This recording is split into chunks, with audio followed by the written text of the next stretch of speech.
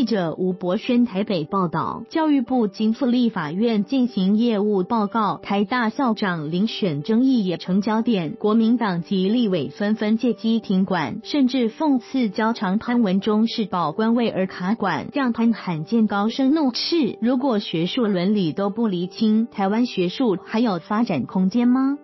台大校长今年一月遴选出财经系教授管中敏为下届新校长，但随后接连爆发资讯揭露、利益回避及学术伦理等争议，使管中敏难以上任。监察院也介入清查，教育部则要求台大厘清一役，才肯核定聘书。台大预计二十四日召开临时校务会，进行相关讨论。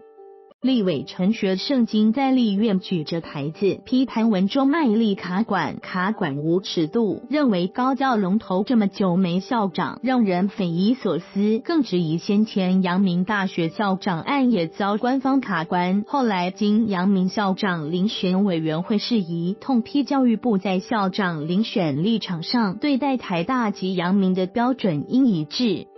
立委赖世宝上台，则讽刺潘文忠是为了保住官位才拼命卡管，而大学教授痛恨政治力介入，更在提扬明案例，要求教部也应接受台大校长遴选委员会日前的决议，聘任管中敏当校长。更说若之后临时校务会议确认管中敏资格无疑义，要求潘文忠要辞职负责。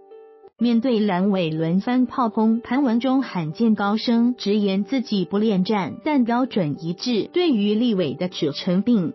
不认同，强调阳明校长遴选的疑义只有一个。这次台大则有不同的疑义，包含监察院关心的管中敏兼职问题，甚至还有学术伦理，否认台大案有其他人干预，更高声批：如果学术伦理都不厘清，台湾学术发展还有机会吗？希望大家把台大校长的角色审慎看待。